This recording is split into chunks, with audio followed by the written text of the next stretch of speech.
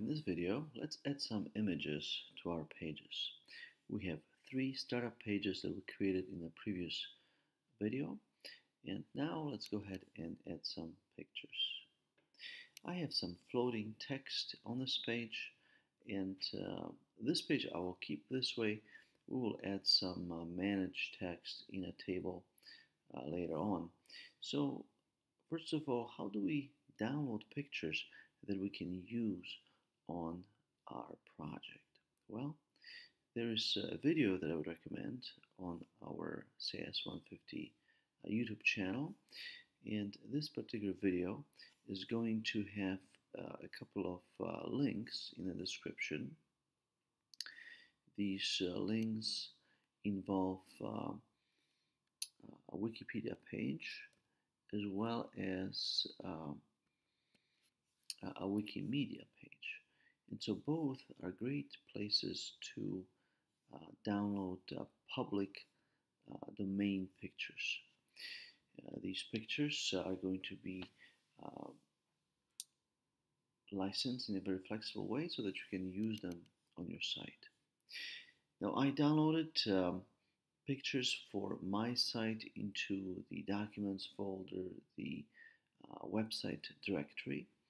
And uh, here I have uh, a picture of Microsoft Word, uh, Microsoft Excel. In fact, I'll go ahead and uh, uh, name this picture so. So this is the Excel picture, and this picture happens to be my robot picture, which I downloaded from uh, clipart.org. All right, so with this in place, make sure that your images are also in the same directory as your website project. All of them should be in the same directory. Let's go ahead and see how this might work in our page. I'll go ahead and select an insertion point and now I'll click on the image button. Let's go ahead and select the first image and we'll grab the robot. Remember about the tooltip. So this is the CIS150 robot uh, and we'll put the same in the alternate text.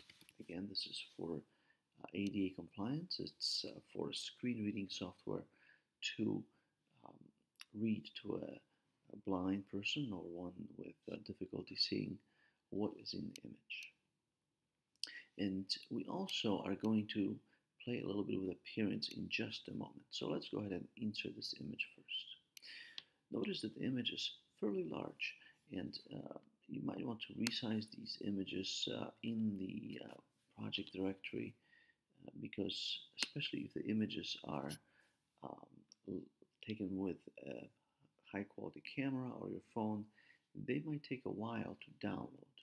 Now this robot here is a fairly simple image and uh, it is not uh, large in size so I can just resize it in place. Okay, so now that I have this image, let's see how else we can display it on the page. If I double click on the image, I go back to the graphical user interface and uh, first of all, I'm going to change the way it's displayed by saying wrap to the left of the image. So now the text is going to be wrapped next to the image. In addition to this, we'll go back and set spacing. Spacing around the image is fairly important because it helps to differentiate the image from the rest of uh, the page. Uh, the text is not encroaching on the image itself. Now let's take a look at this. Uh, maybe uh, the border is a little bit too large. Uh, perhaps uh, we're going to reset the border and, and keep it this way. Okay, so in this step, what we did is we added an image. And as you can see, if you have paragraphs just uh, floating around the page and they will automatically resize to the size of the screen, uh, you can just add images and uh, they will fit in just right. Now I will do the same on my uh, Microsoft uh, Word page.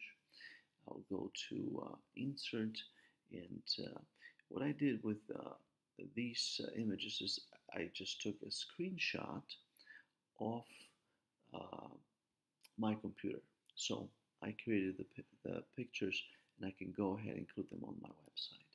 So here the tooltip will be uh, MS Word screenshot. MS Word screenshot. And uh, we'll go ahead and insert that. Excellent. And let's follow the same with Excel.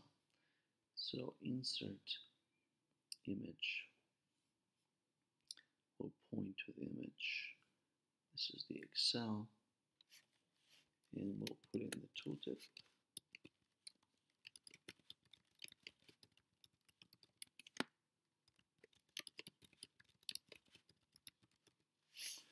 All right, so with this in place, we'll go ahead and say OK. So now I have my pages with images. And uh, now we are ready to perhaps arrange the pages better and also create a menu between them. So this is going to happen in the upcoming